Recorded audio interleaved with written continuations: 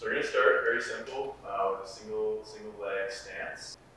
This can be done pretty early in rehab for a grade one sprain. You might even be able to do it day one. For a grade two sprain, it might take three days. Basically, when your weight, weight bearing is tolerated, we can start with these single leg balances. So just start with the opposite leg uh, slightly elevated. You Put a little bit of a bend in the knee. If the knee is fully extended, meaning fully straight, then you're not going to challenge the ankle too much. So it's important that you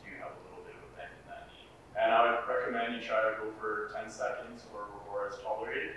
If you start to lose control of the ankle, so we see some movement of the ankle, or we see your hips kind of go side to side, shoulders drop side to side, that's when you should stop the exercise because now we're training for a motor.